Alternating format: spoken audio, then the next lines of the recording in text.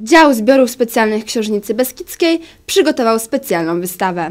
Polskie bitwy w sztuce. Taki tytuł nosi wystawa prezentowana w dziale zbiorów specjalnych Książnicy Beskidzkiej przy ulicy Podcienie 9. Wystawa została całkowicie przygotowana w oparciu o zbiory własne książnicy i prezentuje najważniejsze bitwy z historii polskiego oręża. Opieraliśmy się w dużej mierze na zbiorach czytelni sztuki, prawda? Bo i, i w temacie wystawy jest sztuka.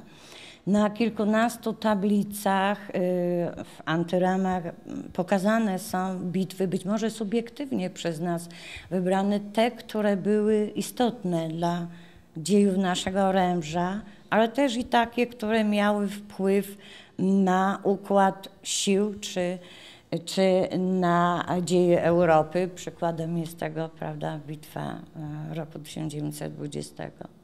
Większość prezentowanych na wystawie obiektów to oczywiście albumy malarstwa. Temat polskich bitew był przecież jednym z ulubionych polskich malarzy, nie tylko batalistów. Chcieliśmy e, pokazać właśnie tę polską batalistykę w sztuce.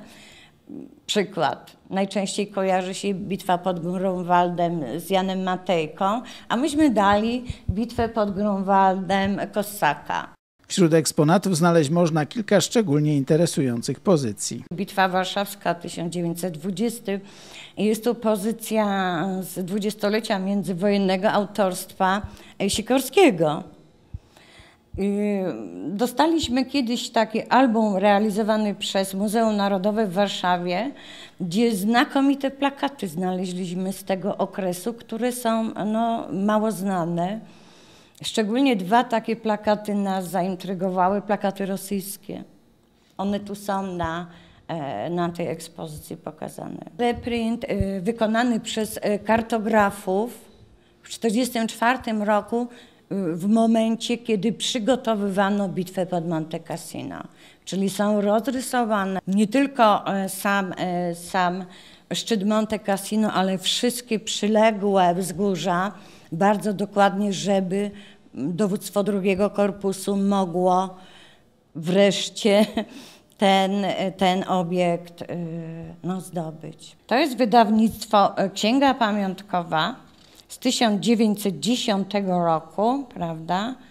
Kiedy szumnie obchodzono rocznicę zwycięstwa pod Grunwaldem i ukazywało się wiele wydawnictw wówczas e, ksiąg pamiątkowych i różnego rodzaju wydawnictw i to jest przykład jednego z takich wydawnictw. Polskie bitwy w sztuce to kolejna tak zwana wystawa wędrująca przygotowana przez Dział Zbiorów Specjalnych Książnicy Beskidzkiej. Przy ulicy Podcienie będzie prezentowana do końca października. Potem będzie udostępniana w zainteresowanych tematem placówkach szkolno-oświatowych.